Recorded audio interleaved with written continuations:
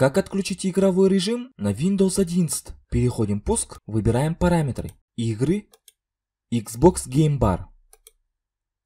Ползунок влево отключаем. Игровой режим. Режим игры. Отключаем.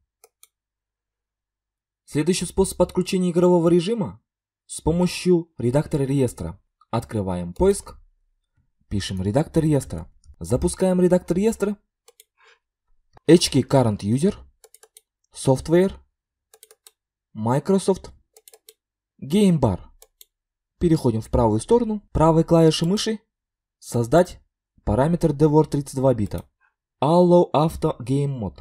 Два раза кликаем, и у вас должно быть значение 0. Если у вас значение 1, это включает Game Mode. Цифра 0 означает выключение.